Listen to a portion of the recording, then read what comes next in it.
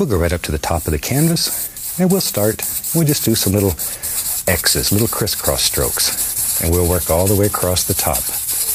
Now the color is continually mixing with the liquid white, and it creates all those beautiful variations that we want. Let me put a little more color on the brush here. There we go.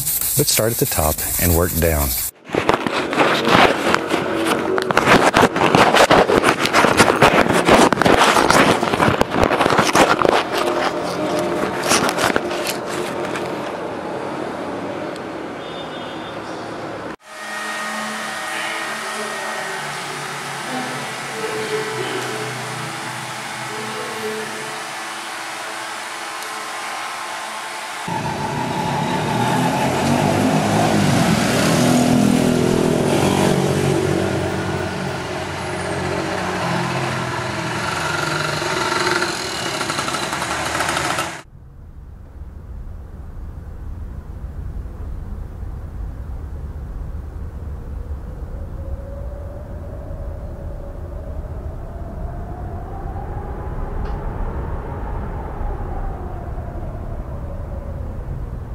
I think in my world, it's going to live maybe right there.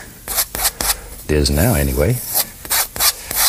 But all we're doing here is just pushing that color right into the fabric, right into the canvas. And this is pre-stretched canvas. We, we do not recommend the canvas boards because they have a tendency to absorb the liquid white. And you end up with a dry surface almost immediately. Maybe, maybe, yeah, right there. We'll have another little bump there.